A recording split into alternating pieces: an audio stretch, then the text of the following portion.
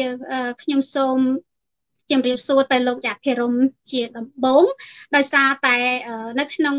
ករណីដែលទឹកលិចនៅក្នុងទីក្រុងភ្នំពេញដូចជាលោកយ៉ាភិរមបានឃើញទាំងអស់គ្នានិងក៏ដូចជាជនរួមជាតិបានឃើញទាំងអស់គ្នាតើមកពីមូលហេតុអ្វីដែរទៅលោកយ៉ាភិរមចាបានជាទឹកលិចនៅក្នុងទីក្រុងភ្នំពេញហុកពីសក់មួយដងដែលអ្នកដឹកនាំ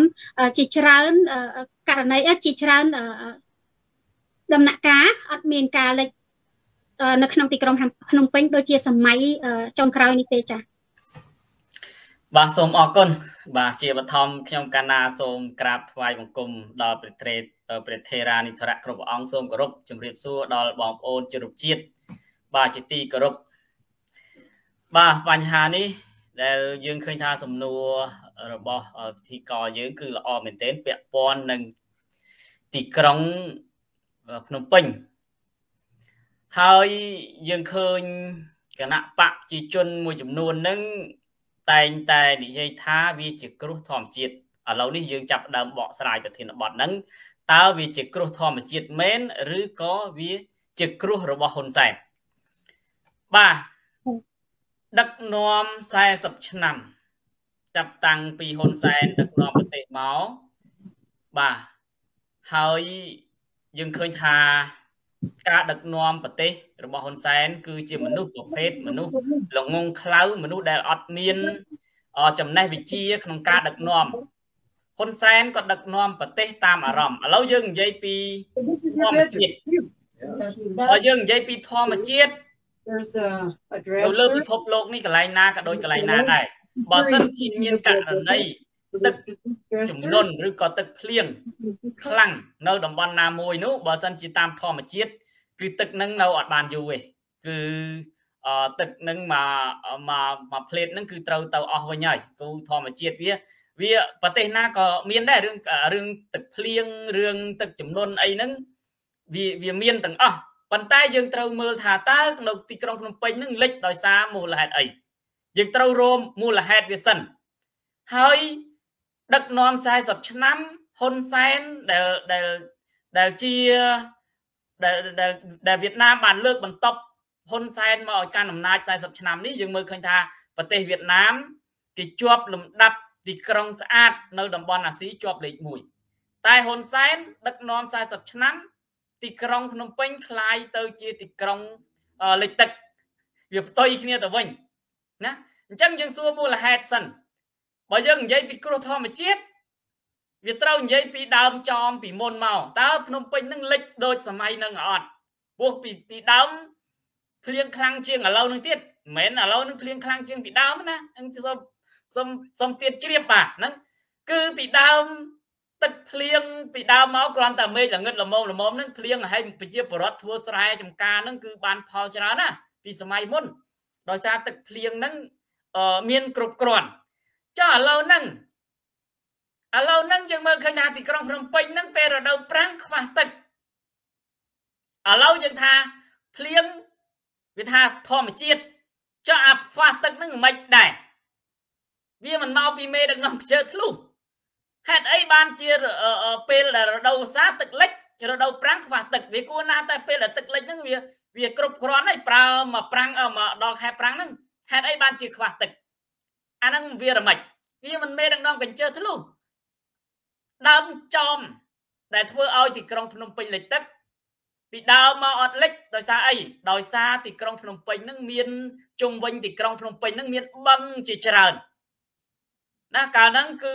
ផ្ទៃបឹងនឹងប្រជាពលរដ្ឋបានទទួលផលពីបឹងមានបឹងច្រើនណាបើខ្ញុំរៀបរាប់ឈ្មោះមិនអស់ប៉ុន្តែខ្ញុំដឹងខ្លះខ្លះដូចជាបឹងតប៉ុនបឹងតមោក ហើយបឹងអីទៀតចាំបងប្អូន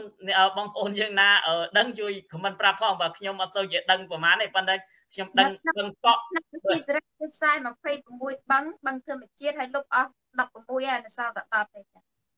បាទហើយរឿងនេះជារឿងក្តីបារម្ភរបស់ប្រជាពលរដ្ឋខ្មែររបស់អង្គការសង្គមស៊ីវិលគេដាក់ក្តីបារម្ភហើយគេរិះគន់ច្រើនដងហើយដូចបឹងកក់បឹងអីលុបទាំងអស់ហ្នឹងគេគេព្រួយបារម្ភថាពេលដែលលុបបឹងនៅ វាធ្វើឲ្យទឹកលិចប៉ុន្តែមនុស្សហ៊ុនសែនគឺជាមេដឹកនាំដែលតែចេះមេដឹកនាំដែលក្បាលរឹងហើយគាត់បាននិយាយថាហេតុអីបានពីចំនួនមុន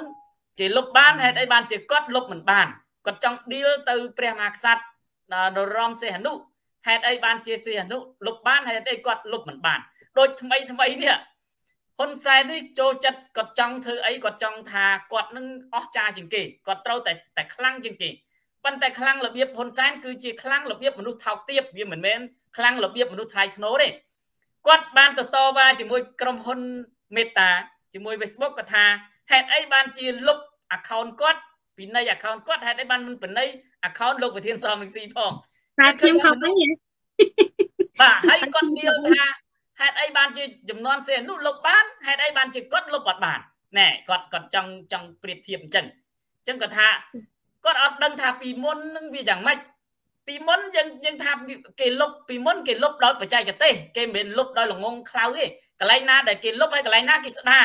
គេស្ដារបឹងបន្ថែមការពីចំនួនសេអនុយើងដឹងហើយប្រទេសកម្ពុជាយើងរីកចម្រើនខ្លាំងណារីកចម្រើនមានតាំងពីរោងចក្រស្ករសមានតាំងពីរោងចក្រកញ្ចៅមានតាំងពីបន្លាយទឹកធារាសាស្ត្រអីហ្នឹងគឺមានច្រើនណាមានច្រើនដល់ពេលហ៊ុនសែន របបហ៊ុនសែននេះដឹកនាំមកគឺអាលាយអស់អាលីងអាអាស្អីក៏ធ្វើមិនបានមិនបាច់ដល់ដល់ពីដល់ពេលស្ករសអីទេសូម្បីតែឈើចាក់ថ្មិញហ្នឹងក៏ហ៊ុនសែននាំចេញពីនាំចូលមកពីក្រៅប្រទេសមិនបាច់ដល់ឈើចាក់ថ្មិញទេសូម្បីតែបន្លែក៏ហ៊ុនសែនផ្គត់ផ្គង់បន្លែនៅក្នុងស្រុកហ្នឹងឲ្យប្រជាពលរដ្ឋអត់គ្រប់គ្រាន់ដែរកុំថាឡើយបន្លែសំបីតាស្រូវអង្គហ្នឹងក៏ហ៊ុនសែននាំស្រូវអង្គហ្នឹងពីក្រៅប្រទេសចូលមកប្រទេសកម្ពុជាដែរអាហ្នឹងមេដឹកនាំវាម៉េច មេដឹកនាំល្ងងខ្លៅឥឡូវយើងមើលទីក្រុងភ្នំពេញកាប់ថ្មីថ្មីនេះពីឆ្នាំហើយនេះអត់យូរទេណាយើងឃើញថាហ៊ុនម៉ាណែតបានចោះទៅចែកទឹកហើយជុំវិញប្រទេសកម្ពុជាសិតតែជុំវិញបឹងជុំវិញទីក្រុងភ្នំពេញសិតតែបឹងចុះហេតុអីបានជាហ៊ុនសែនក៏ល្ងងអីក៏ល្ងងហេតុអីបានមិនមិនយកទឹកទាំងអស់ហ្នឹងផលិតទឹកឲ្យប្រើប្រាស់ឲ្យគ្រប់គ្រាន់ គ្រាន់តែរឿងផលិតទឹកឲ្យប្រជាប្រដ្ឋប្រើហ្នឹងក៏ហ៊ុនសែនអសមត្ថភាពដែរហើយតែដឹកនាំប្រទេសយ៉ាងម៉េចកើតដឹកនាំប្រទេសយ៉ាងម៉េចរីកចម្រើនរឿងលិចទីក្រុងភ្នំពេញនេះហាបើនិយាយពីពីគ្រោះធម្មជាតិអារឿងគ្រោះធម្មជាតិហ្នឹងប្រទេសណាក៏គេមានដែរប៉ុន្តែគេរួមវិធីសាស្ត្រក្នុងការទប់ទល់ការលិចហ្នឹងហ៊ុនសែនមិនមែនទៅតាទីក្រុងភ្នំពេញមិនមែនទៅតាលិចឆ្នាំនេះណា លិចប្រហែលឆ្នាំមកហើយតាំងពីហ៊ុនសែនចាប់ដើមលុបបឹងមកគឺទីក្រុងភ្នំពេញលិចរហូតចុះហេតុអីបានជាមេដឹកនាំល្ងងដូចហ៊ុនសែននេះមិនអឺមិនធ្វើលូធ្វើប្រព័ន្ធអឺទឹកនៅក្រោមដីនឹងឲ្យវាវាច្រើនហើយឲ្យវាធំគឺយើងឃើញថារបបហ៊ុនសែននេះយើងឃើញធ្វើពេលដែលគាត់ធ្វើខ្នល់ម្ដងម្ដងណាខ្ញុំមើលឃើញថាពេលដែលគាត់ធ្វើហើយអញ្ចឹងស្រាប់តែគាត់អង្គុយគិតនឹកនឹកថាអូអត់តន់ផ្លិចធ្វើលូ ណាតកាយអាខ្នល់ហ្នឹងដាក់លូណាកាយលូដាក់ខ្នល់កាយខ្នល់ដាក់លូអាហ្នឹងមានមេដឹកនាំយ៉ាងម៉េចមេដឹកនាំឈួតបស័យប្រាសាទហើយធ្វើខ្នល់ធ្វើអីរបៀបបស័យប្រាសាទខ្ញុំនៅប្រទេសគេជឿនលឿនណាមុននឹងគេធ្វើខ្នល់ណាគេត្រូវសិក្សាអំពីប្រព័ន្ធលូនឹងឲ្យបានល្អិតល្អន់ប្រព័ន្ធលូនឹងមិនមែនត្រឹមតែលូទឹកស្អុយទេមានលូលូទឹកច្រើនប្រភេទតើគេយកអាលូទឹកស្អុយនឹងដាក់ផ្សេងហើយលូទឹក ដែលប្រព័ន្ធដែលដែលប្រើប្រាស់ធម្មតាហ្នឹងគេដាក់ផ្សេងហើយមុននឹងទឹកនឹងចេញទៅចេញពីពីកន្លែងហ្នឹងគឺគេត្រូវចម្រោះសិនបានបានឲ្យទឹកនឹងចេញទៅតាមទលេតាមបឹងអីព្រោះវាអីកាលណាយើងឲ្យទឹកស្អុយនឹងចេញទៅវាប៉ះពាល់ដល់ប្រជាពលរដ្ឋដែលប្រើប្រាស់បឹងប្រើប្រាស់បន្លាយទឹកអីនៅជុំវិញទីក្រុងភ្នំពេញហ្នឹងវាធ្វើឲ្យប៉ះពាល់សុខភាពរបស់ប្រជាពលរដ្ឋមេដឹកនាំល្ងងអញ្ចឹងមានដែរគិតគូរអញ្ចឹងឯណា ល្ងើគ្មានដឹងអីដឹកនាំចង់បានតែអំណាចប៉ុន្តែខ្លួនឯងអត់ចេះអត់ចេះគិតគូរអំពីចក្ខុវិស័យតើយើងត្រូវធ្វើយ៉ាងម៉េចណាអញ្ចឹងគេគេមុននឹងធ្វើអឺខ្នល់គេត្រូវធ្វើប្រព័ន្ធខាងក្រោមនឹងរៀបរយឲ្យរៀបឲ្យស្អាតណាឲ្យមានចរន្តខាងក្រោមនឹងឲ្យវាគ្រប់គ្រាន់ហើយបានគេចាប់ដើមកសាងខ្នល់ណាអញ្ចឹងដល់ពេលអាធ្វើខ្នល់ហើយ ស្រាប់តែនឹកឃើញអូផ្លេចដាក់លូតកាយអាខ្នល់នឹងចប់អញ្ចឹងអានឹងគេហៅថាមេដឹកនាំបំផ្លាញមេដឹកនាំដែលដឹកនាំបំផ្លាញជាតិណាគេនិយាយហ៊ុនសែនក្បត់ជាតិហ្នឹងអត់ខុសទេព្រោះអាដឹកនាំវាអញ្ចឹងគេហៅថាយកលុយជាតិទៅទៅជះទៅទៅចោលទៅចោលអត់យើងពិចារណាមើលទៅខ្នល់មួយមិនយកពី30000ដុល្លារទៅធ្វើបានណាមករាប់ម៉ឺនរាប់លានដុល្លារហើយយកទៅទៅធ្វើហើយចាប់តែនឹកឃើញកាយខ្នល់ដល់កាយលូកាយលូខ្ទេចខ្ទីអស់លីង ចឹងបានថាយើងអារឿងបញ្ហានេះណាយើងមិនមែនមកពីគ្រោះធម្មជាតិទេខ្ញុំថាមកពីមេដឹកនាំវាល្ងងមេដឹកនាំគាត់អត់អត់ចេះមានការរៀបចំប្រទេសនឹងឲ្យវាមានប្រព័ន្ធយើងសូម្បីតែចរាចរណ៍ចរាចរណ៍បើសិនជាមេដឹកនាំដែលគេមានឆន្ទៈមេដឹកនាំគេគេគេមានគំនិតណាគេគិតគូរពីសុខភាពពីផលប៉ះពាល់របស់ប្រជាពលរដ្ឋគេត្រូវសិក្សាតាំងពីការស្ទះចរាចរណ៍តាំងពីគ្រោះថ្នាក់ចរាចរណ៍ គេត្រូវសិក្សានឹងឲ្យបានល្អិតអន់ហើយមុននឹងរៀបផ្លូវរៀបកន្លែងឲ្យប្រជាពលរដ្ឋរស់នៅនឹងគេត្រូវធ្វើធារាសាស្ត្រធ្វើផ្លូវថ្នល់ហ្នឹងគឺឲ្យវាមានលំដាប់វាលំដោយមានកន្លែងរៀបចំកន្លែងដែលដែលយើងអាចរក្សាសន្តិភាពហើយធ្វើឲ្យទីក្រុងនឹងវាស្អាតវាវាល្អឡានអឺសម្រាមអីហ្នឹងអាចចូលទៅបានយកសម្រាមហ្នឹងដោយសុវត្ថិភាពដោយស្រួល ប៉ុន្តែយើងមើលឃើញថាអញេអញៃមិនដឹងជាស្អីតស្អីសំបីតែជនជាតិថៃដែលគេទៅការប្រកួតកីឡាករដែលទៅប្រកួតតែស៊ីហ្គេមកាលពីថ្មីថ្មីនេះណាគឺគេបានមកនិយាយគេផ្សាយតាមព័ត៌មានគេថាទីក្រុងភ្នំពេញគឺជាទីក្រុងសម្រាមខ្មាស់គេអត់ហ៊ុនសែនអត់ចេះខ្មាស់គេទេបងប្អូនជនជាតិមេដឹកនាំដែលដែលកំពូលមហាថោកទៀបមុខក្រាស់គឺមិនចេះខ្មាស់គេបាទគឺ អាចង់អាណាធ្វើអីឥឡូវនេះគេផ្សាយពេញពិភពលោករឿងដែលរៀបចំការបោះឆ្នោតអញ្ចឹងខ្ញុំសូមប៉ុណ្ណឹងហើយសូមបកគលទូនីតិឲ្យលោកស្រីលីធីរីវិញសូមអរគុណចាសូមអរគុណលោកយ៉ាភិរមចាស់ដែលបានបកស្រាយនៅបញ្ហាមួយចំនួនពាក់ព័ន្ធជាមួយនឹងទឹកចំនួននេះផងដែរ ខ្ញុំសូមវិលមកលោកស្រីខៀនកុសលវិញម្ដង ចាលោកស្រីខៀនកុសល នៅក្នុងទីក្រុងភ្នំពេញបើយើងរៀបរាប់បឹងនៅក្នុងទីក្រុងភ្នំពេញទាំងតូចទាំងធំទាំងអស់មានសរុបទាំងដល់ទៅ26បឹងហើយបឹងដែលគេបានលុបជាស្ថាពរគឺអស់16បឹងទៅហើយនៅសល់អឺ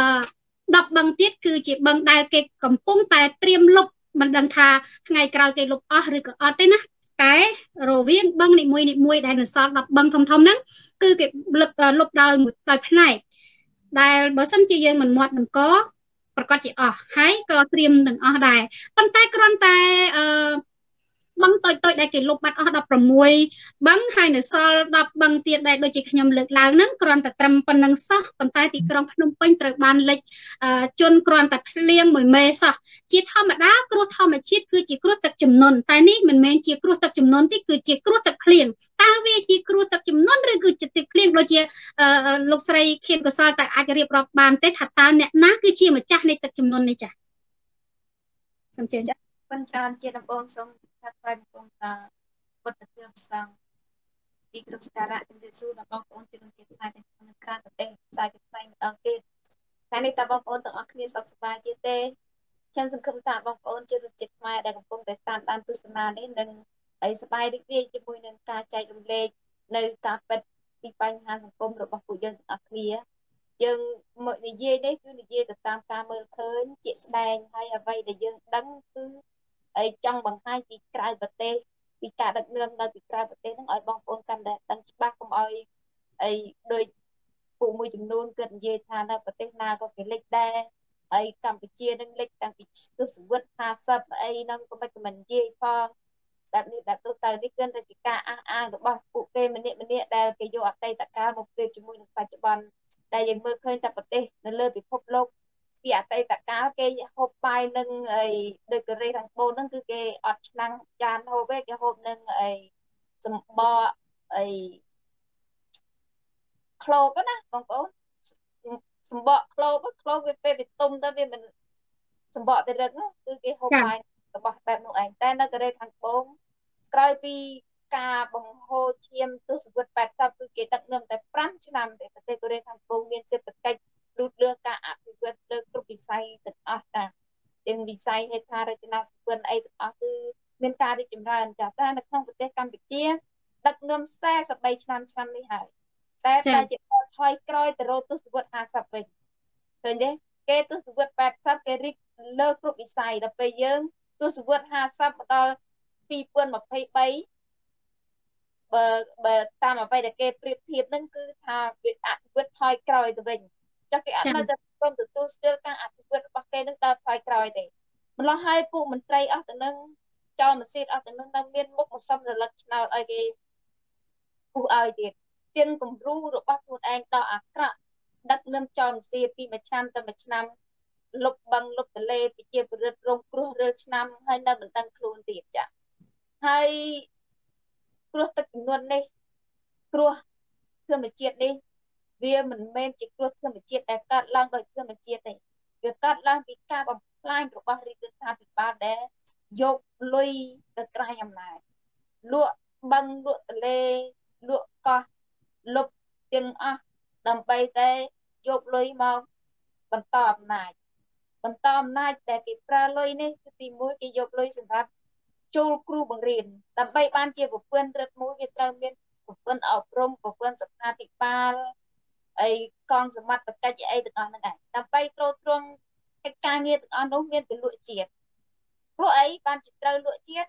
ព្រោះអ្វីដែលជាតិត្រូវរកបានមកដោយសច្ចរិតដូចជាការដឹកនាំទិញព្រឹបពឿនមុខទៅកាន់សហភាពអឺរ៉ុបនឹងគឺជាមុខរបរសេដ្ឋកិច្ចហើយបានរស់ទាំងអស់គ្នា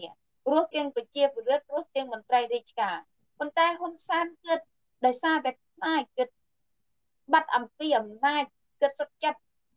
រំលោភសិទ្ធិមនុស្សហើយសុខចិត្តឲ្យគេផ្ដាច់ EVA ដែលជាដង្ហើមសេដ្ឋកិច្ចរបស់ប្រជាពលរដ្ឋខ្មែរនិងមន្ត្រីរាជការនឹងឯងទាំងអស់នឹងឯងដែលធ្វើឲ្យហ៊ុនសែនលែងហ៊ានទទួលខុសត្រូវទោះបីជាខ្លួនឯងបំផ្លាញច្រើនបណ្ណាក៏ដោយគិតនៅតែទម្លាក់កំហុសទៅលើធម្មជាតិគិតថាប្រជាពលរដ្ឋល្ងងខ្លាំងខ្លាំងឲ្យតែគិតនិយាយទៅគឺ ដឹងតែប្រជាពលរដ្ឋជឿហើយរហូតជាខ្ញុំឃើញមាននៃសមាជិករបស់អ្នកលក់ក្បាលឲ្យហ៊ុនសែនមួយចំនួននឹងគេដើរសំធានដើរសំសិលឹកឆ្នោតទេណាទាំងខ្លួនឯងនឹងដឹកនាំធ្វើឲ្យលិចរួមនៃប្រជាពលរដ្ឋកំសត់ណាបង ដើរបន្តស្រីខៀនកសលលេងឲ្យដល់ក្រឹងក្នុងចំណុចនេះខ្ញុំចង់ជម្រាបសួរទៅលោកស្រីខៀនកសលអ្នកលោកស្រីជួយបកស្រាយអំពីបេះដូងរបស់ប្រជាពលរដ្ឋដែលទឹកកំពុងតែលិចដល់ផ្ទះគាត់ដល់ចដាផ្ទះគាត់ហើយធ្វើឲ្យគាត់បាត់បង់មុខរបររស់ស៊ីมันអាចទៅណារួចហើយនៅក្នុងក្នុងគ្រាតែមួយនឹងដែរស្រាប់តែមានគេទៅ បញ្យលអំពីបោះឆ្នោតអីហ្នឹងជាដើមតើពលរដ្ឋទាំងនោះរីរាយបោះឆ្នោតជូនអ្នកដែលបង្កើតឲ្យម្ចាស់ទឹកចំនួនដើម្បីធ្វើឲ្យគាត់បាត់បង់មុខរបរដែរទេឬមួយគាត់គួរតែធ្វើយ៉ាងម៉េចទៅបើខ្ញុំជាប្រជាពលរដ្ឋខ្ញុំផ្ទះពីបេដៃមែនចាប់យើងកំពុងតែឈឺចាប់មានមានគ្រូសាមួយនឹងម្ដាយក៏ឈឺហើយទឹកនឹងលិចដល់ផ្ទះចេញដំណើរមិនកើតទេធានាខ្លាំងមែនទែនលោកអើយមានតែមនុស្សចោលមិនសេតមានបេះដូងទេ ដែលដែលមើលមិនឃើញអំពីការជិះចាប់ហើយហ៊ានទៅសំសិលឹកឆ្នោតឲ្យគេគឹមត្រូលខ្លួនអាណត្តិទី7នេះទៅទៀតចាថាគ្មានភាពអាម៉ាស់គ្មានចេះខ្មាស់អេនគ្មានគិតជាមនុស្សមកបន្តិចហើយមុខរបរសិតទៅលក់ឡានលក់អីមុខរបរសិតទៅអស់ចានណាស់ប៉ុន្តែបានមកពីកម្លាំងញើសឈាមទឹកភ្នែករបស់ប្រជាពលរដ្ឋលក់ក្បាលលក់ឧត្តមគតិលេងមានគិតជាមនុស្សអស់នេះឯងដែលថាចង់ឲ្យគេទៅគឹមត្រូលខ្លួនឯងមានចេះខ្មាស់អៀនហើយ ខ្ញុំអាសូអីអាសូឃើញអីគ្នាក៏ប្រហែលជាកំពុងរត់រត់ម៉ូតូដូបណារត់លមស្រាប់តែដើរអូសលមគ្រូគ្រូទៅក្នុងទឹកហើយលេចម៉ូតូអស់ដល់សល់តែកញ្ចក់ម៉ូតូណាគឺមានមានអារម្មណ៍ថាអាណ້ອຍអាធឿមខ្លាំងមែនទែនប្រជាពលរដ្ឋខ្មែរយើងដល់ថ្នាក់នេះកណ្ដាលទីក្រុងហើយគេអួតថាមុនគូសន្លឹកឆ្នោតខ្វែងចោលមន្ត្រីម្នាក់គេថាប្រជាពលរដ្ឋមុនពេលដែលគូសន្លឹកឆ្នោតខ្វែងចោលសូមពិចារណាផង ថារដ្ឋាភិបាលដឹកនាំ43ឆ្នាំរបស់លោកហ៊ុនសែននេះបានកសាងសាលារៀនមន្ទីរពេទ្យផ្លូវថ្នល់ចាស់ខ្ញុំចង់ឆ្លើយតបត្រង់ចំណុចនេះវិញថាអស់លោកកសាងបានរដ្ឋាភិបាលណាក៏គេកសាងបានដែរប៉ុន្តែរដ្ឋាភិបាលហ៊ុនសែនព្រមតែកសាងដើម្បីបំផ្លាញតែប៉ុណ្ណោះគិតកសាងរួចហើយគិតរំលាយចោលតាមរយៈការពលិចទឹកពលិចសាលារៀនពលិចផ្លូវថ្នល់កសាងបានមានប្រយោជន៍អី បើកសាងដើម្បីទៅបំផ្លាញកសាងឲ្យប្រើការមិនកើតចឹងនឹងឯងគឺជាអង្គើពុកលួយហើយគេអត់គេអត់ចេះខ្មាស់គេហើយថាមិនបើចង់គូខ្វែងចោលសូមគិតខ្សែជាថ្មីអំពីការកសាងចុះបើការកសាងដែលមិនដែលផ្ដល់ប្រយោជន៍ឲ្យទៅប្រជាពលរដ្ឋកសាងដើម្បីតែលំអភ្នែកមួយផ្លេតឬហើយក៏រលាយវិនិច្ឆ័យអន្តរាយចេញទៅហើយរឿងមួយទៀតដែលខ្ញុំសោកស្ដាយនិងសោកសម្រេងស្នាដៃដូនតាខ្មែរមួយទៀតការដឹកនាំ43ឆ្នាំរបស់គាត់ ទៅមើលប្រាសាទអង្គរវត្តដែលមានក្បូរក្បាច់រចនាដែលដូនតាប្រើកម្លាំងញើសឈាមមិនដឹងជាគិតមើលទៅស្ដាច់លំប្រមាណជំនឿណាទៅរឹមរួចប្រាសាទអង្គរវត្តនោះមួយណាបែរជាគេទៅអីបំផ្លាញរូបចម្លាក់ដែលស្នាដៃឧបបរោះបានកសាងទឹកឲ្យគេមិនត្រឹមតែការពារមិនបានទេមិនបាច់ដល់តែថ្នាក់កសាងបន្ថែមទេសូមឲ្យតែការពារតែធនធានដែលដូនតាប្រសើរទុកឲ្យដូចជាសម្បត្តិដែលវប្បធម៌មាន ប្រាសាទបុរាណសម្បត្តិធម្មជាតិមានព្រៃឈើបឹងស្ទឹងអីមានស្រាប់តើបំផ្លាញទាំងអស់នោះហើយអូតែខ្លួនឯងនឹងអស់ចាខ្ញុំរនិយាយអត់ចាញ់ទេព្រោះវាវាឆ្អែតចិត្តខ្លាំងពេកតាកតងទៅនឹងអីអ្វីដែលគេបំផ្លាញនេះមិនត្រឹមតែប៉ុណ្ណោះទឹកភ្នែកប្រជាពលរដ្ឋដែលរងការគៀបសង្កត់តាមរយៈការរឹបអូសយកដីធ្លីបណ្ដាញប្រជាពលរដ្ឋដោយបង្ខំត្រំលេះអភិវឌ្ឍ ពីមុនកាលពីឆ្នាំ2010ជាងអីនៅតំបន់បឹងកក់ប៉ះប្រជាពលរដ្ឋជាង4000គ្រួសារបន្ទាប់មកខាងបរិយកាឡានិងតំបន់ផ្សេងផ្សេងទៀតឥឡូវនេះមកដល់ខេត្តសៀមរាបប៉ះទៅលើ4ស្រុកដែលមានប្រជាពលរដ្ឋជាងជិត10000ជិត10000គ្រួសារបើ10000គ្រួសារគុណនឹង3នាក់បើយើងគិតគ្រួសារ3នាក់តែគ្រួសារខ្ញុំនឹងវា5នាក់ទៅខ្ញុំគិតមកខ្ញុំថា3នាក់ទៅចុះចុះបុគ្គលនឹង10000គ្រួសារទៅប្រមាណ100ជីវិតនឹង តើសួរថាមន្ត្រីគណៈបកប្រជាជនដែលតាំងខ្លួនឯងថាជាអ្នកដឹកនាំឈានទៅរកការអភិវឌ្ឍសាងសង់នឹងតើមានគិតដល់ការប៉ះពាល់អឺទៅដល់ប្រជាពលរដ្ឋដែរទេខ្ញុំគិតថាគិតគិតអត់ចាញ់ទេពួកអីអំណាចនិងលុយគឺសំខាន់ជាងជីវិតរបស់ប្រជាពលរដ្ឋខ្មែរទៅទៀតដូច្នេះហើយប្រជាពលរដ្ឋខ្មែរយើងទាំងអស់គ្នាមានតែការសម្រេចចិត្តដោយត្រឹមត្រូវរបស់ខ្លួនឯងគឺគូសន្លឹកឆ្នោតបាញ់ចោលទេដើម្បីឆ្លើយតបនឹងភាពមិនទទួលខុសត្រូវរបស់ការដឹកនាំ គ្រប់មន្ត្រីគ្រប់ជាន់ថ្នាក់របស់គណៈបកប្រជាជនដែលខំប្រឹងឲ្យបង្រៀនប្រជាពលរដ្ឋឲ្យដើរគូសន្លឹកឆ្នោត7អាណត្តិឆ្នាំនេះហើយ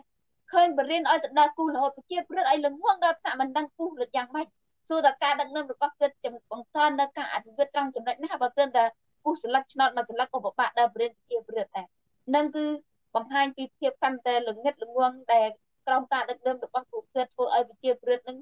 សម្បីស្លឹកឆ្នោតក៏មិនចេះគូប៉ុន្តែខ្ញុំជឿថាប្រជាពលរដ្ឋលោកស្រីជាកុសលខ្ញុំចង់កាត់លោកស្រីបន្តិចនៅចំណុចថាគេទៅនាំគ្នា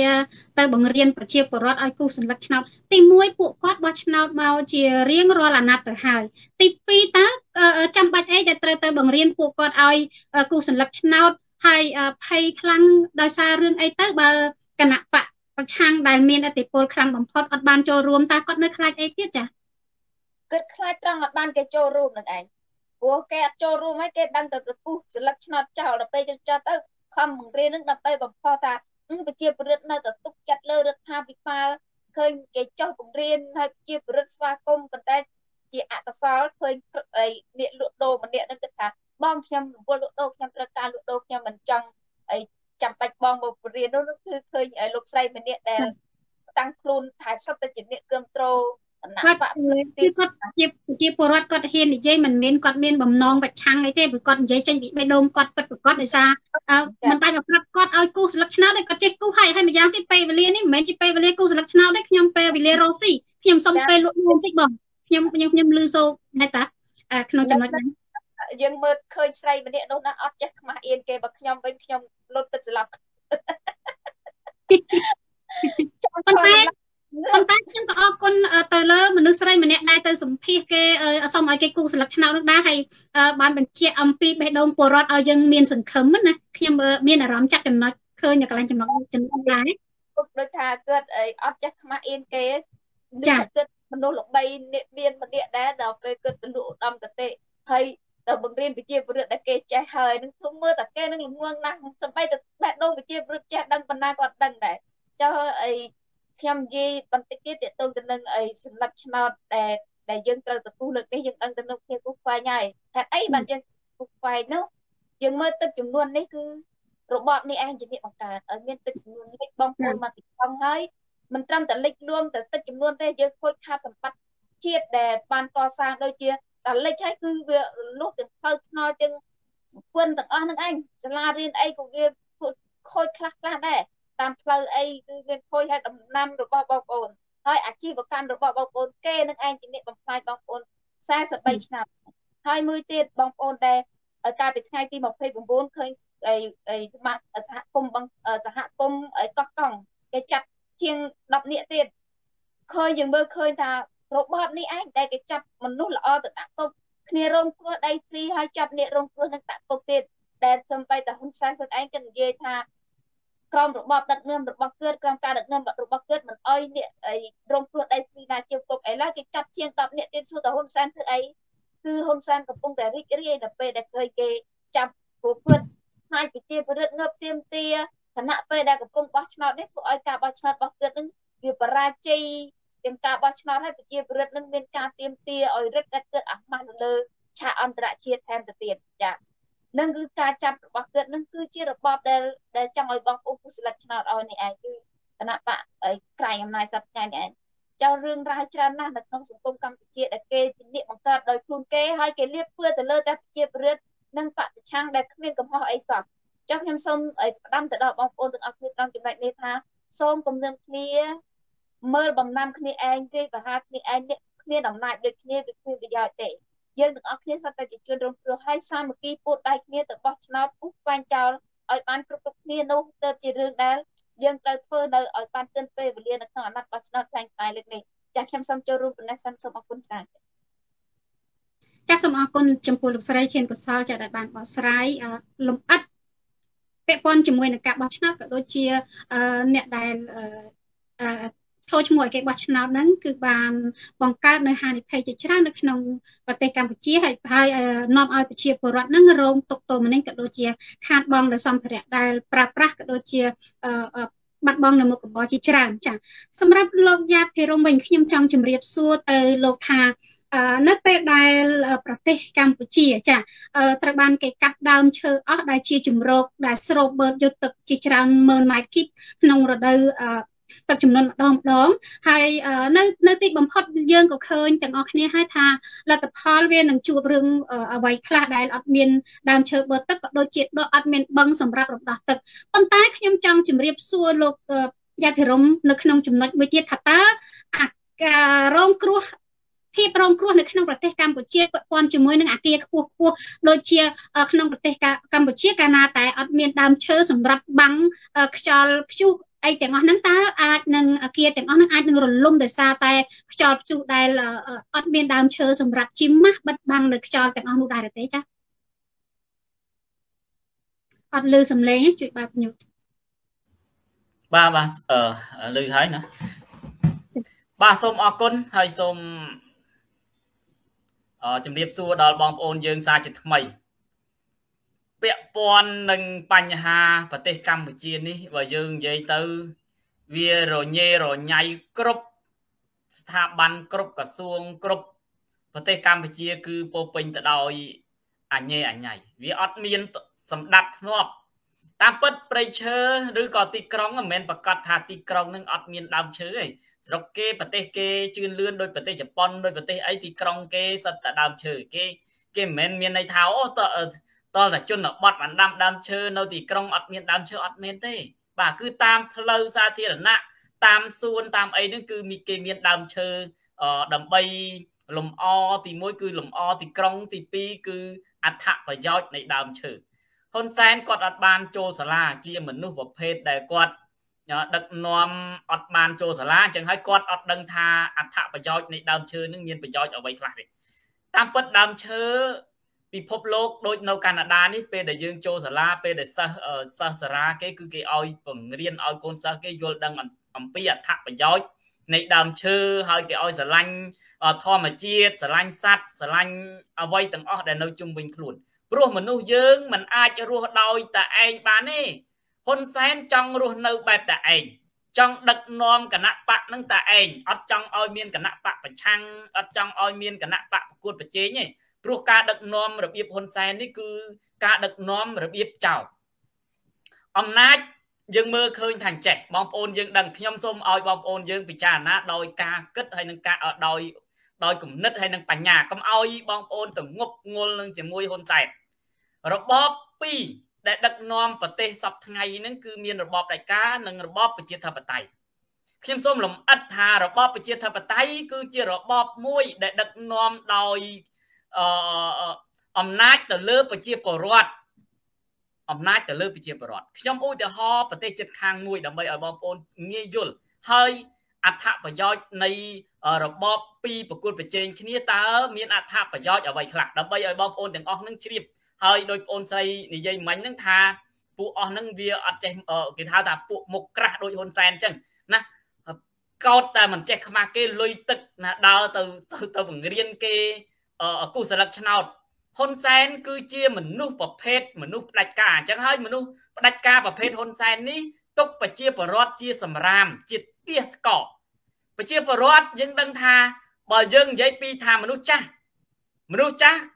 គាត់គាត់មើលងាយថាមនុស្សចាស់ហ្នឹងបោះឆ្នោត7អាណត្តិហើយនៅតែល្ងងគាត់អានេះភាសាគាត់មើលងាយប៉ុន្តែមនុស្សចាស់ទាំងអស់ហ្នឹងគាត់ គាត់ដឹងហើយថារបៀបគូឆ្នោតគូសិលឹកឆ្នោតហ្នឹងយ៉ាងម៉េចគាត់យល់ហើយប៉ុន្តែហ៊ុនសែនទុកប្រជាពលរដ្ឋជាទេសកទី1រូបភាពដែលគាត់ទៅគូសិលឹកឆ្នោតដែលទៅនាំមន្ត្រីក្រាក់ក្រាក់របស់គាត់ចុះទៅតាមមូលដ្ឋានហ្នឹងគឺរូបភាពរបស់គាត់ហ្នឹងគឺគាត់ចង់គម្រាមកំហែងទេគាត់ដឹងថាប្រជាពលរដ្ឋបោះឆ្នោត7អាណត្តិហើយ6អាណត្តិហើយនឹងគឺច្បាស់ជាជាយល់ច្បាស់ហើយការគូសស្លឹកឆ្នោតប៉ុន្តែរូបភាពគឺគម្រាមកំហែងទី2យើងមើលឃើញថា មនុស្សចំនួនក្រោយ មនុស្សក្មេងៗចំនួនក្រោយគេអត់ទៅល្ងងទេព្រោះគេបានចូលសាលាបើថាមនុស្សសម័យខ្មែរក្រហមទៅថាមិនបានចូលសាលាប៉ុន្តែក្មេងៗចំនួនក្រោយនេះគេបានចូលសាលាគេរៀនសូត្រគេចេះដឹងគេមានបណ្ដាញសង្គមអីមើលរាល់ថ្ងៃនេះគេដឹងហើយរបៀបគូសស្លឹកឆ្នោតហើយការបង្រៀននេះគឺជាបង្រៀនរបៀបខុសច្បាប់ទៅទៀតរបៀបចោលអានេះគេហៅចោលទៅលួចស្លឹកឆ្នោតហើយព្រោះការបង្រៀនស្លឹកឆ្នោតបង្រៀនគូស្លឹកឆ្នោតមានតែគោជបទេ ហើយគោជបហ្នឹងគេបង្រៀនតាមអនឡាញហ្នឹងវាគ្រប់គ្រាន់ហើយដូចយើងពួកយើងបញ្យលប្រជាពលរដ្ឋទៅឲ្យគូសខ្វែងស្លឹកឆ្នោតមិនមែនមានន័យថាយើងខុសច្បាប់ទេយើងអត់មានខុសច្បាប់ទេព្រោះអីបើសិនជាគណៈបកប្រឆាំងមានការចូលរួមប្រកួតអាហ្នឹងបើយើងឃោសនាឲ្យប្រជាពលរដ្ឋខ្វែងស្លឹកឈើអាហ្នឹងយើងខុសហើយព្រោះគណៈបករបស់យើងចូលរួមប្រកួតហេតុអីបានយើងមកឃោសនាឲ្យប្រជាពលរដ្ឋគូខ្វែងអញ្ចឹងវាផ្ទុយប៉ុន្តែដោយសារអីដោយសារគណៈបក របស់យើងអត់បានចូលរួមប្រកួតអញ្ចឹងយើងក្នុងនាមយើងជាថ្នាក់ដឹកនាំក្នុងនាមយើងជាសកម្មជនរបស់គណៈបកយើងត្រូវមានសារនយោបាយព្រោះធ្វើនយោបាយត្រូវតែមានសារមិនមែនធ្វើនយោបាយទៅទៅអង្គុយគម្រាមកំហែងប្រជាពលរដ្ឋទេសារនយោបាយសំខាន់ណាស់បាទសម្រាប់អញ្ចឹងហើយបានជាពួកយើងទាំងអស់គ្នាធ្វើសារនយោបាយផ្ញើចែកជូនទៅ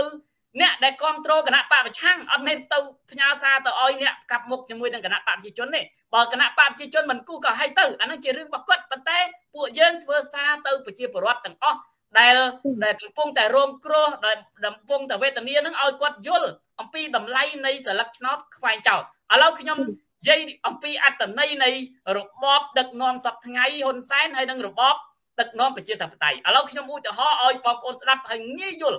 ងាយយល់ហើយងាយច្បាស់ឥឡូវយើងមើលប្រយុទ្ធច័ន្ទឧចាប្រទេសថៃប្រយុទ្ធច័ន្ទឧចាគឺជាមេដឹកនាំដោយរដ្ឋបហារដ្ឋបហាហ្នឹងគឺដើម្បីទៅយកអំណាចអញ្ចឹងប្រយុទ្ធមិនបកពួកប្រយុទ្ធគឺជាក្រុម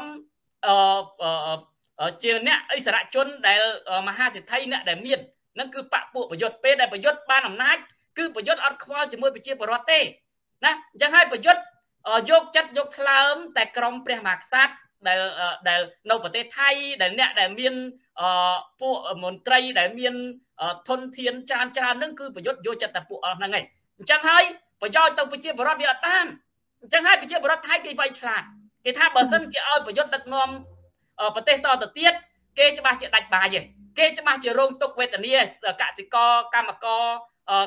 អ្នកធ្វើស្រែធ្វើចម្ការហ្នឹងច្បាស់ជារងទឹកភ្នែកហើយ អញ្ចឹងប្រជាពលរដ្ឋគេវៃឆ្លាតគេថាมันអាចឲ្យប្រយុទ្ធដឹកនាំប្រទេសតទៅទៀតទេពួកប្រយុទ្ធដឹកនាំបែបផ្ដាច់ការកាលណាហ៊ុនប្រយុទ្ធដឹកនាំដោយដោយដោយយកអំណាចដោយ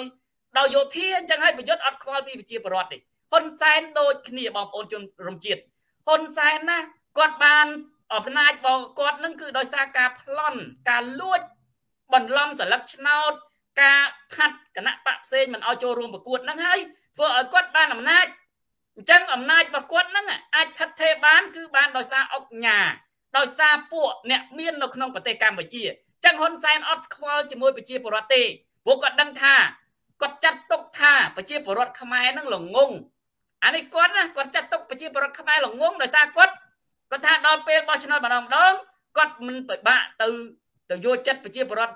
អីទេគាត់យកតែសឡុយមួយកម្មាមួយលុយ2 30000ឲ្យស្រា2 3កំប៉ុងទៅប្រជាពលរដ្ឋបោះឆ្នោតឲ្យគាត់ហើយអចឹងគាត់មើងងាយប្រជាពលរដ្ឋអញ្ចឹងយើងជាប្រជាពលរដ្ឋវៃឆ្លាតយើងជាប្រជាពលរដ្ឋដែលមានប្រជាពលរដ្ឋដែលដែលជឿនលឿនប្រជាពលរដ្ឋសម័យថ្មីយើងត្រូវប្រើឧត្តមគតិនិងប្រាជ្ញាដូចពលរដ្ឋថៃ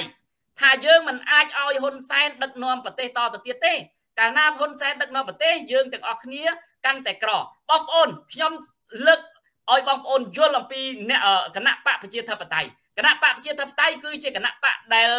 ប្រជាពលរដ្ឋបោះឆ្នោតឲ្យព្រោះគណៈបកប្រឆាំងមិនដែលបានអំណាចទៅដោយទៅលួចអីបានទេព្រោះអំណាចនៅលើគណៈបកកាន់អំណាចអញ្ចឹងហើយគណៈបកប្រឆាំងមានតែមិនមានតែម្រាមដៃ10មានតែសុំឲ្យប្រជាពលរដ្ឋទុកចិត្តបងប្អូនមនុស្សយើងតើតែយើងផ្ដល់ឱកាសឲ្យ បាទបើយើងមិនផ្ដល់ឱកាសឲ្យអត់ដឹងថាគាត់ដឹងខ្លាំងយ៉ាងណាឬគាត់ប្រកែយ៉ាងណាទេយើងមើលឃើញថាហ៊ុនសែនយើងថាអូហ៊ុនសែនដឹកនាំប៉ុណ្ណឹងយើងគិតថាហ៊ុនសែននឹងខ្លាំងប៉ុន្តែយើងអត់តន់បានឲ្យអ្នកថ្មីនឹងចូលរួមប្រកួតទេអត់ឲ្យអ្នកថ្មីនឹងដឹកនាំបន្តទេដូចចវាយខេតបងឃើញបងអូនដឹងហើយចវាយខេតចវាយស្រុកអីក៏ដោយក៏គេត្រូវដូរដែរគេមិនដែលដាក់ចវាយខេតនឹងអាដែរអាដែរទេកាលណាដាក់ចវាយខេតនឹងអាដែរអាដែរចវាយខេតនឹងមានបាក់ពួកបង្កើតក្រុម បង្កើតអីនៅក្នុងខេតនឹងអញ្ចឹងហើយធ្វើឲ្យខេតនឹងវាទៅជាអំពើពុកអលួយវាទៅជាបពពួកនិយមអញ្ចឹងហើយគេត្រូវការយ៉ាងម៉េចគេត្រូវការដោះដូរចវាយខេតនឹងចេញដើម្បីដាក់ចវាយខេតថ្មីព្រោះចវាយខេតថ្មីក៏អត់មានបពពួកទេតែគាត់មកគឺគាត់មកខ្លួនទៅទេអញ្ចឹងគាត់ត្រូវតែទៅយកចិត្តប្រជាពលរដ្ឋគាត់អត់មានបពួកទេកាលណាគាត់មិនទៅយកចិត្តប្រជាពលរដ្ឋប្រជាពលរដ្ឋនឹងទម្លាក់គាត់ចោលហើយ ដឹកនាំប្រទេសដូចគ្នាបងប្អូនហ៊ុនសែនអត់ខ្វល់ជាមួយប្រជាពលរដ្ឋទេពួកគាត់គិតថាប្រជាពលរដ្ឋគាត់អាចបង្ក្រាបបានអញ្ចឹងគាត់ខ្វល់ជាមួយតែរឿងលុយឯអាណាក៏ដោយឲ្យតែរលុយឲ្យគាត់បានច្រើនគឺគាត់ឲ្យទៅគៀបសង្កត់ប្រជាពលរដ្ឋហ្នឹងអញ្ចឹងគាត់ខ្វល់ឲ្យឃើញឃើញណាក៏វើណាក៏វើយើងសួរថាកាលណាណាក៏វើបើត្រឹមប្រាក់ខែពលករប៉ុណ្ណឹងកម្មករប៉ុណ្ណឹងមិនមែនតកែគេអត់លុយឲ្យទេតកែគេចំណេញមួយឆ្នាំមួយឆ្នាំរាប់ពាន់លានដុល្លារប៉ុន្តែហ៊ុនសែនមិនអនុញ្ញាតឲ្យ ក្រុមហ៊ុនហ្នឹងដោះស្រាយទេហាក់សុកចិត្តឲ្យក្រុមហ៊ុនហ្នឹងយល់លុយទៅឲ្យហ៊ុនសែនទៅឲ្យហ៊ុនម៉ាណែតវិញបាទព្រោះកាលណាឲ្យលុយទៅកម្មករហ៊ុនសែនកាត់បន្ថយលុយរបស់ហ៊ុនសែនអញ្ចឹងហើយហ៊ុនសែនត្រូវតែឲ្យតកែហ្នឹងមិនបាច់ទៅដោះស្រាយទេព្រោះហ៊ុនសែនជាអ្នកដោះស្រាយឲ្យឃើញទេហ៊ុនសែនពេលដែលកម្មករកម្មការនីមានបញ្ហាហ៊ុនសែនចាប់ដើមបញ្ជូនកម្លាំងទៅដោះស្រាយជំនួសទៅកាងតកែជំនួស ជំនួសតកែទៅវិញតកែគេអត់ខ្វល់ទេព្រោះគេថាណែលោកឯងស៊ីលុយរបស់ខ្ញុំឯងដូចដូចហ៊ុនសែនរឿង Facebook ចឹងហ៊ុនសែនបានចំណាយលុយទៅ Facebook ហ្នឹងរាប់លានដុល្លារអញ្ចឹងហើយគាត់ថាអើខ្ញុំអត់ខ្វល់ទេណាខ្ញុំអត់ខ្វល់ថាខ្ញុំនិយាយអីខ្ញុំអត់ខ្វល់ទេខ្ញុំមិនដឹងថានិយាយនឹងវាគម្រាមកំហែងគេប៉ុន្តែខ្ញុំឲ្យលុយអ្នកឯងអ្នកឯងត្រូវតែធ្វើការឲ្យខ្ញុំប៉ុន្តែក្រុមហ៊ុន Facebook គេអត់គេអត់មានអាយ៉ងដូចនៅស្រុកខ្មែរណានៅស្រុកខ្មែរហ៊ុនសែនអ្នកបជា តែនៅខាងក្រៅប្រទេសគេអត់មានអ្នកណាគេបជាទេអញ្ចឹងហើយគេគេធ្វើតាមទួនាទីពួកឯងចំណាយលុយប្រមាណក៏ដោយគេអត់ខ្វល់ទេណាគេខ្វល់ទៅតាមលក្ខន្តិកៈនៃច្បាប់របស់មេតាអាហ្នឹងគឺយើងមើលអញ្ចឹងអញ្ចឹងហើយបានជាតកែហ្នឹងវាអត់ខ្វល់តកែហ្នឹងខ្វល់ទៅអីណាអោយហ៊ុនសែនដោះស្រាយទៅហើយហ៊ុនសែនដោះស្រាយធ្វើម៉េចហ៊ុនសែនមកមានអីមានបង្ក្រាបប្រជាពលរដ្ឋអញ្ចឹងហើយយើងឃើញថារបបប្រជាធិបតេយ្យនេះបងប្អូនជាពិសេសគឺបងប្អូនដែលដែលក្រីក្រខ្ញុំថាបងប្អូនគួរតែភ្ញាក់ រលឹកឡើងបងប្អូនកុំកុំចាញ់បោកហ៊ុនសែនយើងក្រ យើងក្រយើងត្រូវការផ្លាស់ប្ដូរកាលណាផ្លាស់ប្ដូររបបមួយផ្លាស់ប្ដូរមិនមែនមានន័យថាផ្លាស់ប្ដូររបបនឹងមានសង្គ្រាមទេការផ្លាស់ប្ដូររបបនឹងមានន័យថាម៉េចការផ្លាស់ប្ដូររបបនឹងធ្វើឲ្យសង្គមមួយផ្លាស់ប្ដូរ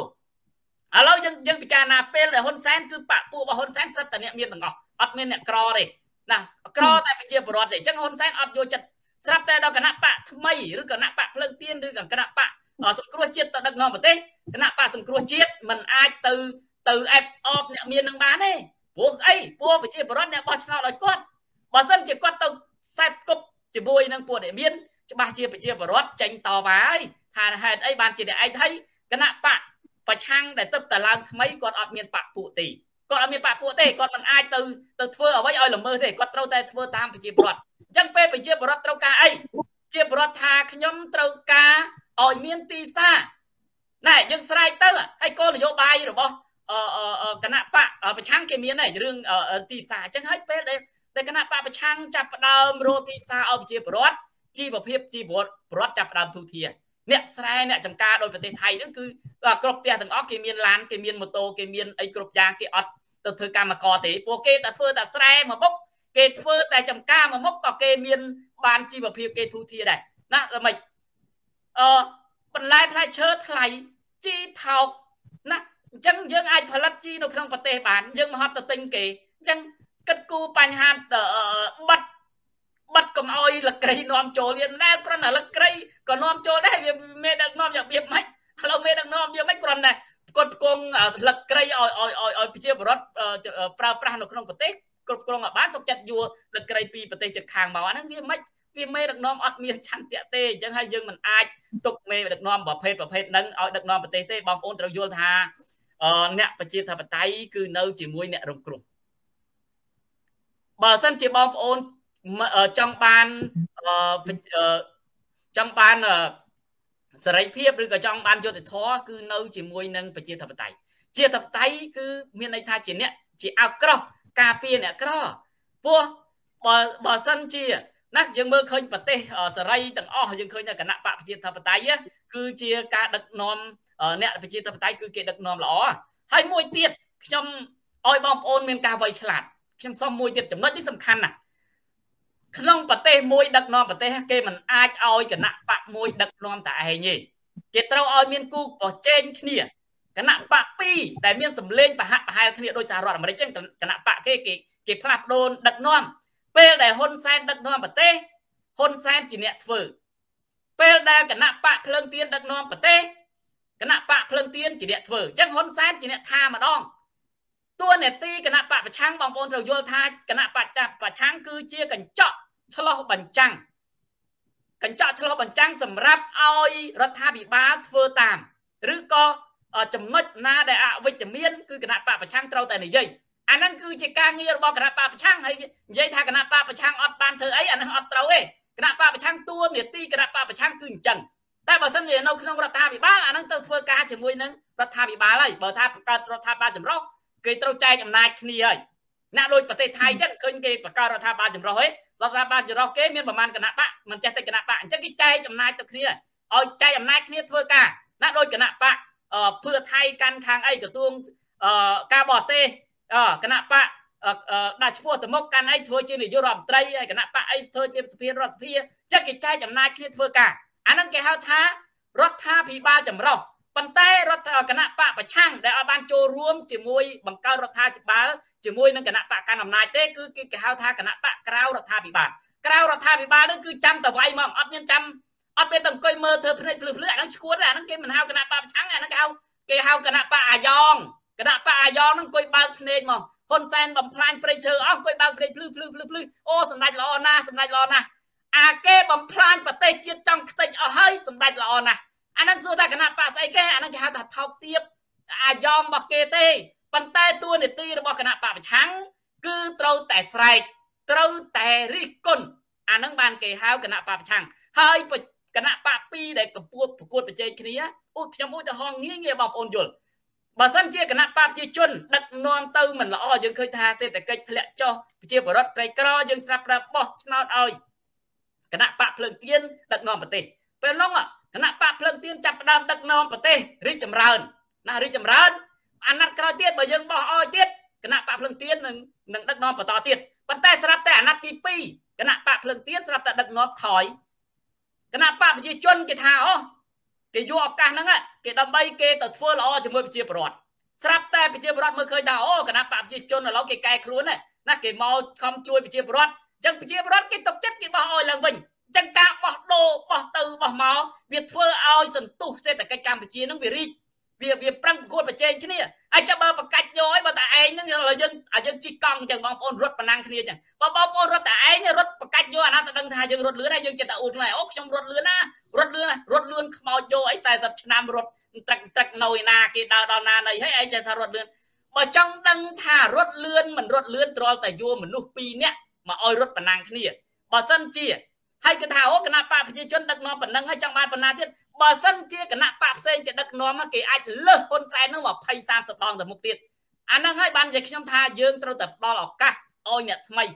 អាអ្នកកញ្ចាស់អែឡានកញ្ចាស់មនុស្សបើកក៏កញ្ចាស់អាឡានក៏កញ្ចាស់ហើយយើងចេះតែប្រឹងឲ្យ អាឡាផ្សែងខ្មៅចចុកហើយនឹងទៅមុខមិនរួចជាប់ផុងយ៉ាងណាចេះតែរោគខំប្រឹងរោទៅអូស្បាច់ទៅអូទៅអាទៅអាឡានឹងចង់ដាច់ខ្យល់ងាប់អាម្ចាស់ហ្នឹងក៏កញ្ចាស់ចង់ងាប់ហើយទៅខំប្រឹងបើកយើងឲ្យតកង់ថ្មីមកថៃឃើញគេឆ្លាតគេឲ្យតកង់ថ្មីហ្មងហើយរៀបគាត់សង្ហាណាយើងមើលតាំងពីរូបរាងតាំងពីចំណេះវិជ្ជាគេខ្លាំងទាំងអស់ហើយថ្មីថ្មីនេះឃើញបងស្រីម្នាក់ដែលគាត់ទៅសង្ក្រាបសំពះនាយករដ្ឋមន្ត្រីដោយសារគាត់ថាគាត់ គាត់ស្រឡាញ់ពេញបេះដូងមកហើយឃើញនាយករដ្ឋមន្ត្រីគេមានសភាពថ្លៃថ្លៃធ្នូឯងគេក្មេងគឺគេគេគេគេគេអោនមកក្រាបសំពះវិញគេអត់ឲ្យអ៊ំស្រីនឹងសំពះអញ្ចឹងទេបើមេដឹកនាំហ៊ុនសែនយ៉ាងម៉េចណាសូម្បីតែព្រះសង្ឃទៅលុតចង្គង់ថ្វាយបង្គំនាយករដ្ឋមន្ត្រី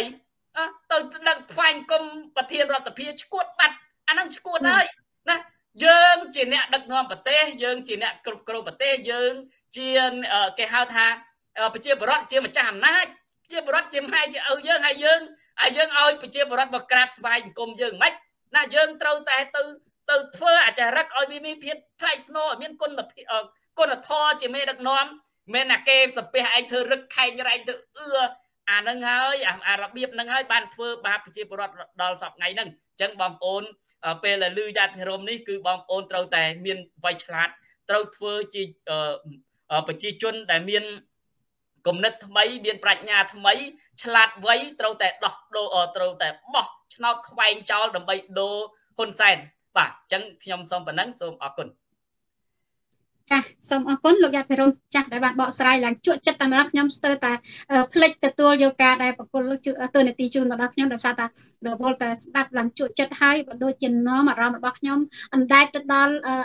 ប្រជាពលរដ្ឋកំពុងតែអូសម៉ូតូនៅក្នុងទឹកចាកំពុងតែឃើញទស្សនវិជ្ជាគ្រប់បែបយ៉ាងដែលលោកយ៉ាភិរមលើកឡើងចា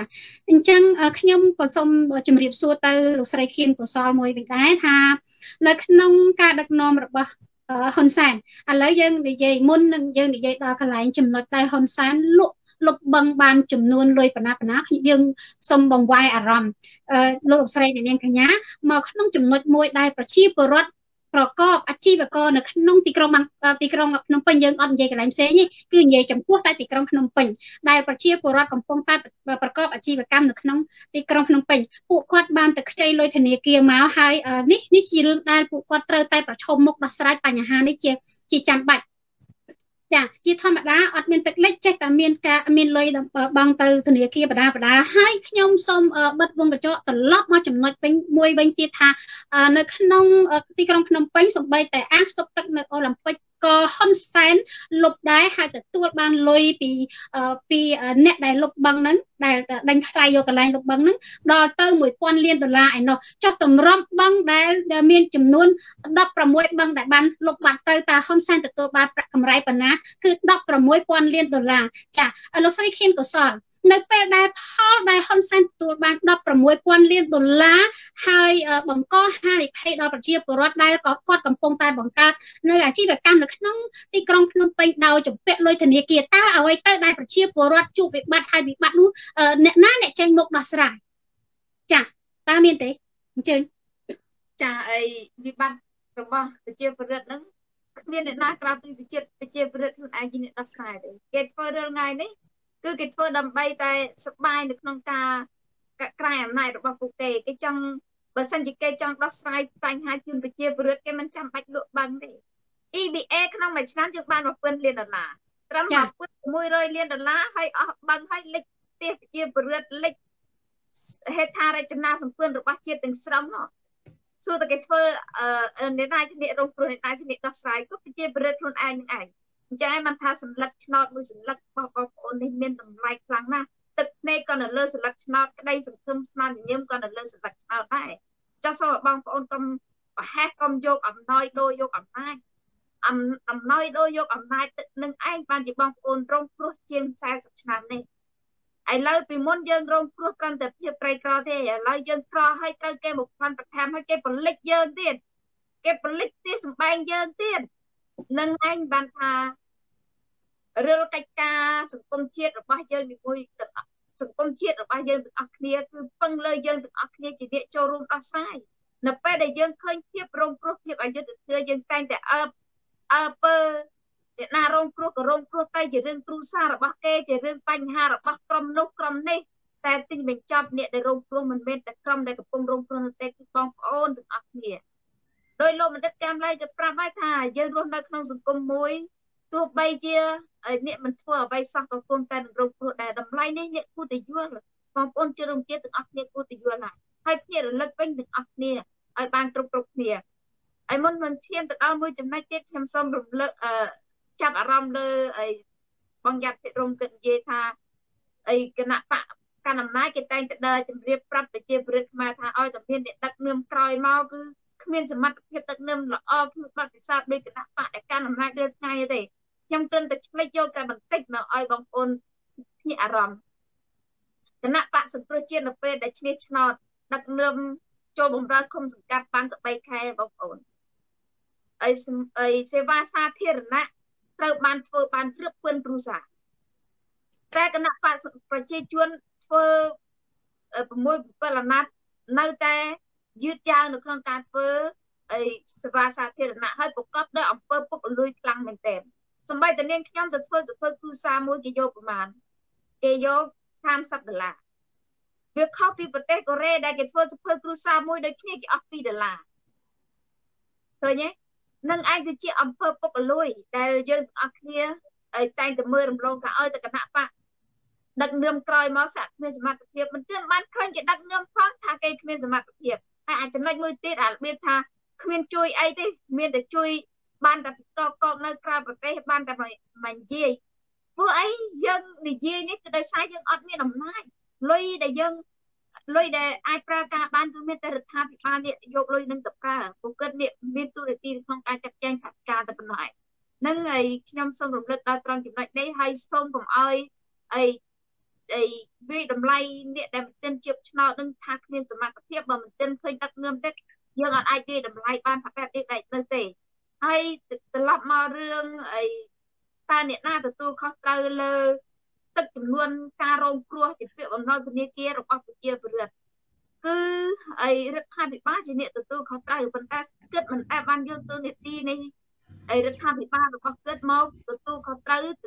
អីដោះស្រាយជូនបញ្ហា ប្រជាពលរដ្ឋយើងទេគិតទុកឲ្យប្រជាពលរដ្ឋយើងនឹងដោះស្រាយបញ្ហាដោយខ្លួនឯងហើយគិតថែមទាំងទៅសុំសញ្ញាឆ្នោតឲ្យប្រជាពលរដ្ឋគ្រប់គ្រងឲ្យគិតបំផ្លាញប្រជាពលរដ្ឋខ្មែរខ្លួនឯងនឹងទៀតនឹងគឺអីខ្ញុំសូមឲ្យបងប្អូនទាំងអស់គ្នាទទួលឲ្យទទួលទៀតខាងគណៈបកប្រជាជនកម្ពុជាគេកំពុងតែធ្វើយុទ្ធនាការទាំងរឿងកំ pl ែងទាំងស្អីស្អីទាំងអស់ឲ្យបងប្អូនចាប់អារម្មណ៍ទៅលើការគូសសញ្ញាឆ្នោតជូនពួកគាត់ ប៉ុន្តែយើងទាំងអស់គ្នាសូមភ្ញាក់រលឹកផងដែរថាទន្ទឹមគ្នានឹងគេឲ្យគូសសញ្ញាឆ្នោតឲ្យពួកគេយើងខំប្រឹងនឹងគ្នាផ្សព្វផ្សាយអ្នកអាចប្រាប់ទៅបងប្អូនរបស់ខ្លួនឯងផ្ទាល់អ្នកអាចប្រាប់ទៅសាច់ញាតិខលទៅប្រាប់ឬក៏បើក្លាហានតែបន្តិចផុស Facebook បន្ថែមទៀតអំពាវនាវឲ្យមានការគូសខ្វែងសិលឹកឆ្នោតចោលដើម្បីផ្ដល់យុទ្ធធឿដល់បងប្អូនទាំងអស់គ្នានឹងជាតិយើងទាំងមូលចា៎ហើយដំណោះស្រាយដែលទឹកលិច ដែលគេទឹកលិចទីក្រុងទឹកលិចជនបទការប្លន់ដីធ្លីប្រជាពលរដ្ឋសពថ្ងៃនេះគឺសន្លឹកឆ្នោតមួយសន្លឹកនេះឯងដែលសម្រាប់ចូលវាសនារបស់បងប្អូននៅលើកនេះហើយដើម្បីផ្ដល់យុទ្ធធឿដល់បងប្អូនទាំងអស់គ្នាកុំអោយរងគ្រោះតទៅទៀតចាចាំមើលតើអីដែលគេខំប្រឹងពង្វក់ខំប្រឹងដល់គូសន្លឹកឆ្នោតបំភ្លៃថាមានការបោះឆ្នោតប្រកបនឹងគឺគេ ឃើញយុទ្ធសាស្ត្រពីរផ្សេងគ្នារវាងអ្នកប្រឆាំងជាមួយនឹងអ្នកឲ្យកាន់អំណាចគឺអ្នកកាន់អំណាចគេអត់ខ្វល់តែគេដឹកនាំធ្លាក់ជ្រោះបណ្ណាតែគឺគេខ្វល់តែធ្វើម៉េចឲ្យបានចម្លាក់ឆ្នោតចាយើងជាជាវរដ្ឋត្រូវឆ្លាតទាំងអស់គ្នាហើយអំពាវនាវឲ្យគូសម្លឹកឆ្នោតស្វែងចោលនៅអាណត្តិនេះហើយបើសិនជាបងប្អូន មានភាពក្លាហានតែបន្តិចជាតាកតងទៅនឹងបងប្អូនដែលរងគ្រោះដីធ្លីខ្ញុំឃើញថាការទៀមទាអី បង្កើតភាពក្លាហានទៀមទាយកដីធ្លីមកវិញហើយទៀមទាឲ្យមានកម្មសិទ្ធិប្លង់រឹងបងប្អូនគួរតែធ្វើឲ្យបានមុនបោះឆ្នោតនេះតទៅដើម្បីក្តីសង្ឃឹមទោះបីជាយើងរដ្ឋផលរបស់ឆ្នោតយ៉ាងណាយ៉ាងណីអានោះយើងចាំគិតទៅប៉ុន្តែកុំអោយបងប្អូនបាត់ដីបាត់ផ្ទះព្រោះដីនិងផ្ទះគឺជាអាយុជីវិតរបស់បងប្អូនបងប្អូនចាំមើលពេលក្រោយបោះឆ្នោតខ្ញុំទីទុកមុនថាហ៊ុនសែនគេនឹង ដោះលែងអ្នកទោសមកវិញដើម្បីបន្ធូរបន្ថយស្ថានភាពនយោបាយហើយបើសិនជាបងប្អូនទៀមទារឿងដីធ្លីមកវិញខ្ញុំជឿថាគេនឹងអាចដោះស្រាយឲ្យបានមួយចំនួនដើម្បីគេកាត់បន្ថយភាពក្តៅនៅក្នុងនយោបាយតែបើបងប្អូននៅស្ងៀមកុំសង្ឃឹមឲ្យសោះគេនឹងបង្កើតយុទ្ធសាស្ត្រទាពួនពីបងប្អូនទី1គេទាពួនទី2គឺគេបណ្ដេញប្រជាប្រិទ្ធចេញពីលំនៅឋានដោយក្រមលេះអភិវឌ្ឍឬក៏ក្រមលេះអភិរិយ អីតំបន់ដែលគេចង់ធ្វើការអីបានដើម្បីអីកាប់យកលុយរៀបលានរលាបន្តអំណាចតទៅទៀតទោះបីបងប្អូនចង់ទៀមទាក៏គ្មានកម្លាំងទៀមទាព្រោះគេធ្វើឲ្យបងប្អូនបែកជាកង់ជាកង់រួចទៅហើយដោយតំបន់នៅខេត្តសៀមរាបនឹងគឺគេបំបែកជាកង់ជាកង់គិតមើលប្រជាពលរដ្ឋរងគ្រោះរហូតដល់ជិត10000គ្រួសារហេតុអីបានជាអត់មានកម្លាំងអីងើបឡើងសោះពីព្រោះអីគេបានបំបែកជាកង់ជាកង់ទី1គឺបងប្អូនឲ្យមិនយល់អំពីសិទ្ធិ ខ្លួនឯងជាម្ចាស់ដីហើយបងទេវនីក៏បានប្រកាសច្រើនណាស់អំពីការការពារផ្ទះគឺការការពារផ្ទះការពារដីគឺជាអាយុជីវិតរបស់បងប្អូនហើយក៏ដូចជាការពារជាតិរបស់ខ្លួនឯងដែរយុទ្ធសាស្ត្រនៃការការពារដីការពារផ្ទះរបស់បងប្អូនគឺបងបងប្អូនត្រូវហ៊ានតវ៉ាជាមួយអាជ្ញាធរហើយយើងហ៊ានយកជីវិតទៅបដូរដើម្បីកូនចៅដើម្បីទឹកដីរបស់បងប្អូនបើសិនជាបងប្អូននៅស្ងៀមអត់ដៃចូលមើលគេនឹងចិនពលិចបងប្អូនដោយគ្មានដង្ហើមដោយគ្មានដោយគ្មានដូចថាដំពន្លឺណាមួយសម្រាប់ឲ្យយើងទទួលបានជោគជ័យទេចៅខ្ញុំទន្ទឹមនឹងការគូសសិលិកឆ្នោតខ្លាំងខ្លាយសូមបងប្អូនការពារដីការពារផ្ទះរបស់ខ្លួនឯងឲ្យបានរៀងរៀងខ្លួនដោយការទៀមទាទាំងអស់គ្នាចាខ្ញុំសូមចូលរួមប្រទេសមានអ្នកណាទទួលខុសត្រូវជំនួសយើងជាងយើងខ្លួនឯងទៅទេចា ចាសសូមអរគុណលោកស្រីខៀនកុសលដែលសារតែពេលវេលាយើងខ្លីដល់ម៉ោងបញ្ចប់ទៅហើយខ្ញុំសូមអញ្ជើញលោកយ៉ាភិរមជួយបន្ថែមបន្តិចថាតើគុណផលប្រយោជន៍នៃការគូសសន្លឹកឆ្នោតខ្វែងចោលតាមផ្ដល់ផលអ្វីខ្លះដល់ប្រជាពលរដ្ឋនេះគឺជាជាទីនីតិបញ្ចប់ទៅហើយចាលោកយលយ៉ាភិរមដោយលោកមានពេលវេលាត្រឹមតែ1នាទីចាសសូមអញ្ជើញបាទសូមអរគុណការខ្វែងសន្លឹកឆ្នោតនេះគឺសំខាន់ណាស់ហើយបងប្អូនទាំងអស់គ្នាត្រូវមើល ហ៊ុនសែនបងប្អូនយើងខ្លះនៅសពេចសពិលហើយគាត់នៅបារម្ភពេលដែលគាត់ថាបើយើងទៅគូសសិលឹកឆ្នោតចោលក៏ហ៊ុនសែនរាប់ថាបានការដែរប៉ុន្តែបងប្អូនត្រូវមើលហ៊ុនសែនបើសិនជាសិលឹកឆ្នោតគូសចោលនឹង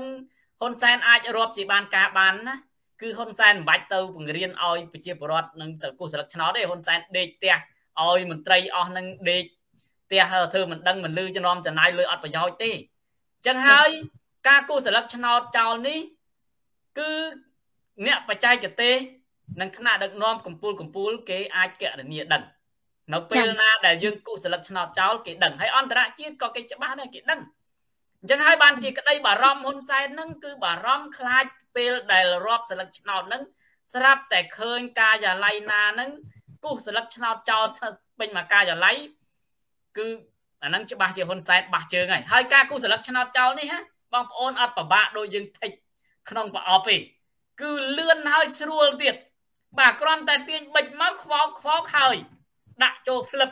អត់មានពិបាកអីបងប្អូនអត់មានពិបាកអីណាបងប្អូនមើលกระดาษខ្វែងចោលអញ្ចឹងអត់មានពិបាកទេតែគណៈបកប្រមាណក៏ដោយយើងបាច់ខ្វល់ទេយើងដឹងតែគូទាញបិចមកខ្វោកខ្វោកចប់ណាគឺមិនបាច់ទៅអង្គុយពិនិត្យអូគណៈបកណាគណៈបកណាអីយើង យើងបាច់ទៅអង្គុយពិនិត្យនាំអាយុអីណាគូមកខ្វាច់ខ្វាច់ចប់ដាក់បត់ចូលវិញដើរចេញមកធ្វើបង្ងើយហើយពេលគេសួរអីយើងធ្វើមិនដឹងធ្វើមិនលឺទៅណាចង់ឆ្លើយថាអូបើគេយើងគេសួរដេញដល់ខ្លាំងគេថាយើង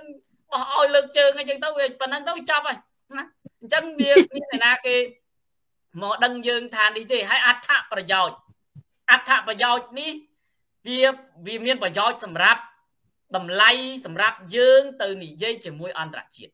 បើសិនជាសម្លេងសិលឹកឆ្នោតគូចោលច្រើន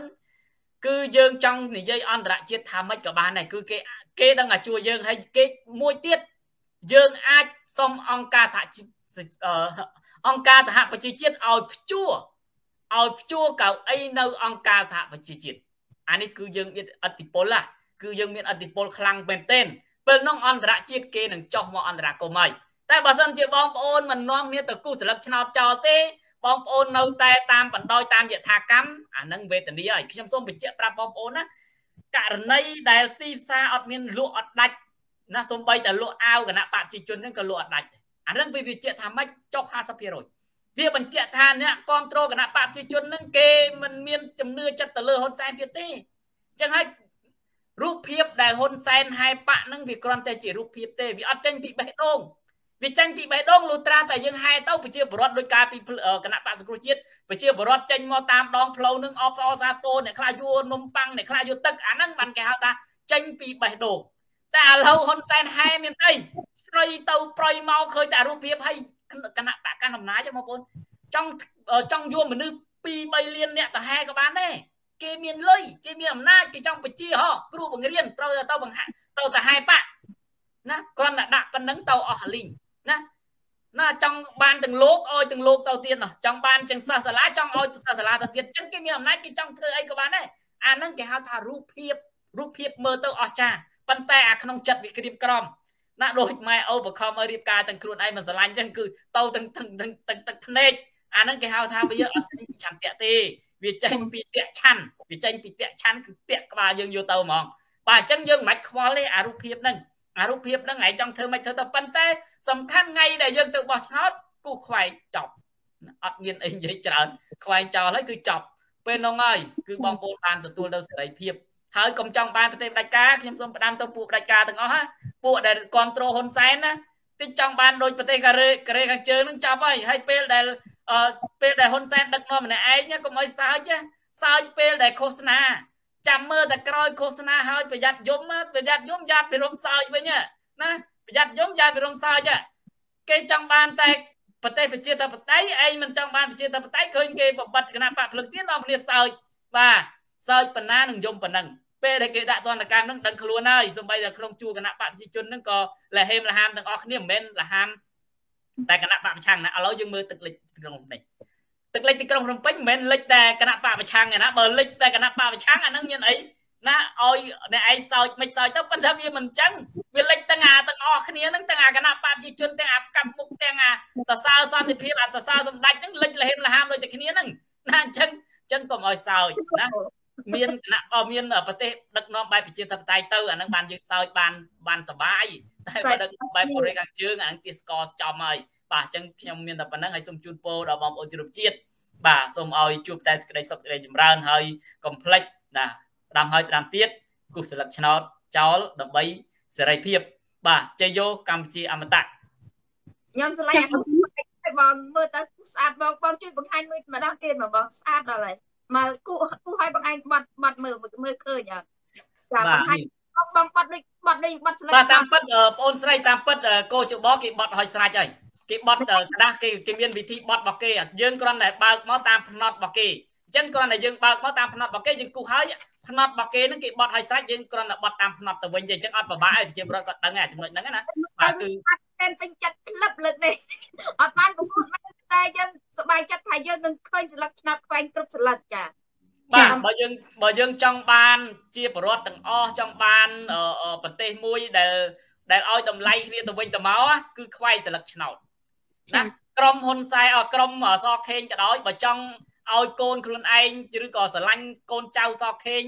អឺចង់ឲ្យប្រកួតប្រជែងមានអាចទៅប្រកួតប្រជែងតំណែងនាយករដ្ឋមន្ត្រីបាន គឺខ្វែងស្លឹកឆ្នោតបាទ ដល់ចឹងហើយចាប់ផ្ដើមប្រទេសអន្តរជាតិគេទៅរៀបចំអញ្ចឹងកូនអ្នកណាក៏គេមានលទ្ធភាពក្នុងការប្រកួតប្រជែងដកតែពុយហ៊ុនសែនចេញទៅដល់តែពុយហ៊ុនសែនចេញដកចេញអស់ទៅណាទៅនៅព្រៃហមពៀនទៅបើមិនចង់ឲ្យគេរិះគន់ចង់ឲ្យគេថាហ្នឹងចង់ចង់ឲ្យឲ្យខ្លាំងតែឯងហ្នឹងទៅទៅនៅឯណា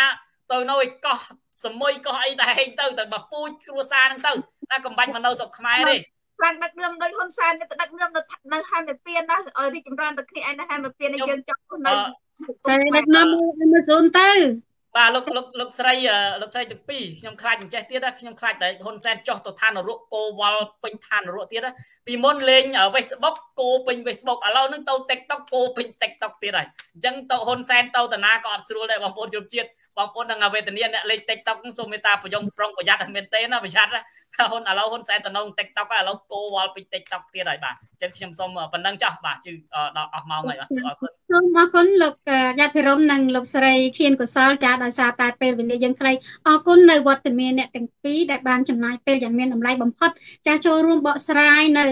ប្រធានបទដែលពាក់ព័ន្ធជាមួយនឹងប្រទេសកម្ពុជាក្តៅក្តៅហើយបកស្រាយយ៉ាងពេញបេះដូងតែម្ដងអរគុណច្រើនចំពោះជនរួមរួមជាតិទាំងអស់គ្នាដែលបានចំណាយពេលយ៉ាងមានតម្លៃបំផុតចូលរួមទស្សនាជាមួយនឹងកម្មវិធីយើងចានាងខ្ញុំក៏មានបន្តិចដែរសម្រាប់ថ្លែងជាចុងក្រោយសម្រាប់ជនរួមជាតិទាំងអស់គ្នាដែរពាក់ព័ន្ធនឹងហ៊ុនសែនដឹកនាំនេះតែម្ដងចាបងប្អូនជនរួមជាតិសុទ្ធតែរកលុយចេញពីការខ្ចីបំណុល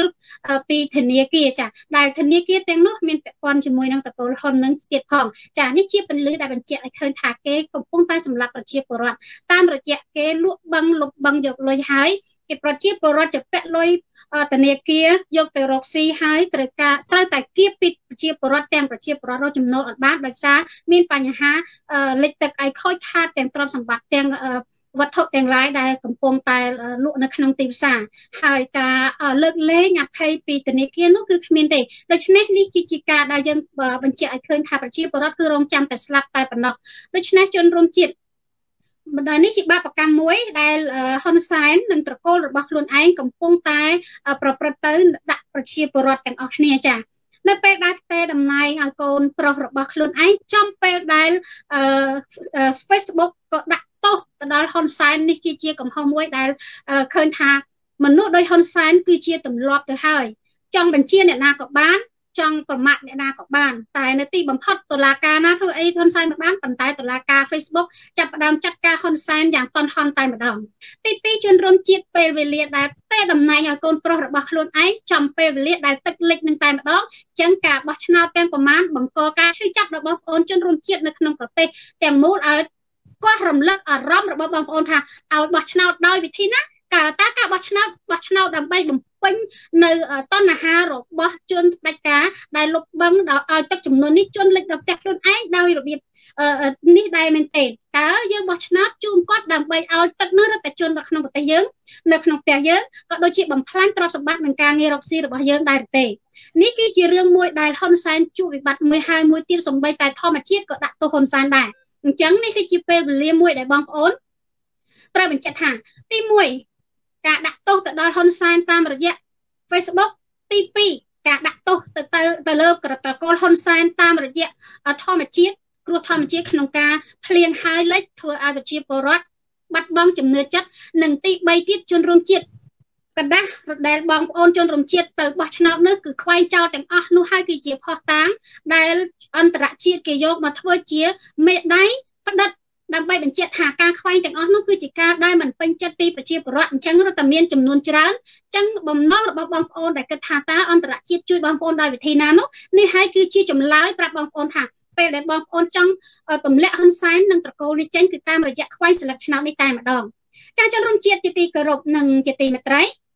នៅក្នុងពេលនេះយើងខ្ញុំទាំង3នាក់ព្រមទាំងក្រុមការងារសូមលំអរកាយជម្រាបលាពីបងប្អូនតែត្រឹមនេះសិនសន្យាជួបគ្នាទៀតក្នុងឱកាសក្រោយចំពេលវេលានិងម៉ោងដដែលជម្រាបលាចា៎អង្គមលាសូមជម្រាបលា